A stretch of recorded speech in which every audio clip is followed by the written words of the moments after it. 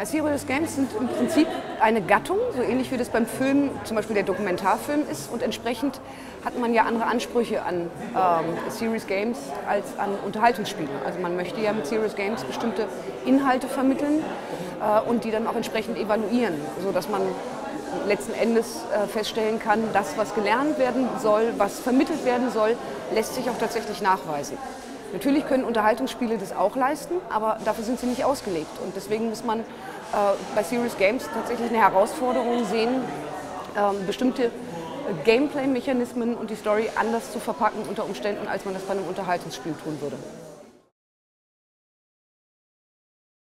Ja, Computerspiele, das weiß man, machen intelligenter und man vermutet, dass es daran liegt, dass die kognitiven Fähigkeiten deutlich mehr gefördert werden und gefordert werden als bei anderen Medienformaten. Man muss ja ständig Entscheidungen treffen, äh, ständig reagieren, was das Spiel sozusagen von einem erwartet, also auch relativ häufig ähm, relativ schnell. Das heißt, man fördert natürlich damit automatisch Problemlösungskompetenzen, logisches Denkvermögen, viele andere Metakompetenzen.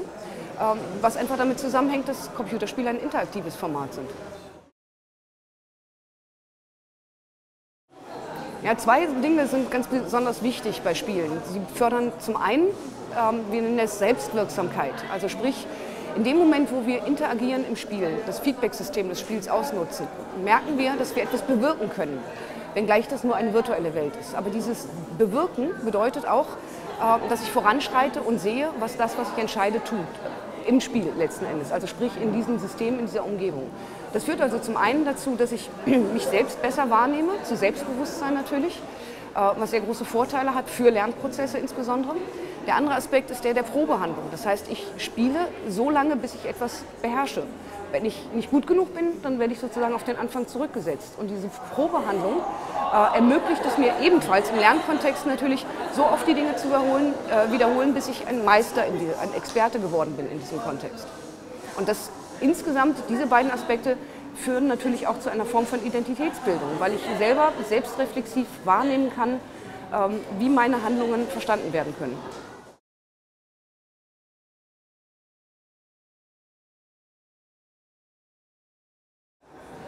Im Grunde genommen die Fähigkeiten, die wir später brauchen, sprich im Berufsleben, im Alltagsleben, das sind eigentlich Fähigkeiten, angefangen von natürlich gesteigerter Intelligenz, ähm, die wir vielleicht eher als Metafähigkeiten bezeichnen würden. Also logisches Denkvermögen, räumliches Vorstellungsvermögen, Hand-Augen-Koordination.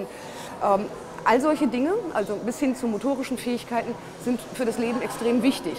Ähm, was häufig äh, falsch bewertet wird bei Serious Games, ist, dass wir versuchen, Schulstoff oder so klassischen Lernstoff eins zu eins zu übertragen. Also sprich, man kann damit Vokabeln lernen. Man kann auch mit Computerspielen Vokabeln lernen oder andere typische Fähigkeiten, die wir äh, in der Schule oder auch später in der Weiterbildung äh, eingetrichtert bekommen. Aber Spiele haben einen unglaublich großen Vorteil im Vergleich zu anderen Formaten, nämlich den, man würde jetzt wahrscheinlich sagen Learning by Doing. Also das Prinzip Feedback-System führt letzten Endes dazu, dass ich eigene Entscheidungen treffe, eigene Bewertungen treffe.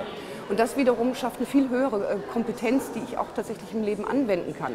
Auswendig lernen, ähm, das reine Aneignen von Wissen bringt uns nur bis zu einem bestimmten Punkt. Viel wichtiger ist es, dass ich lerne, Probleme zu lösen und meine kognitiven Fähigkeiten auszunutzen.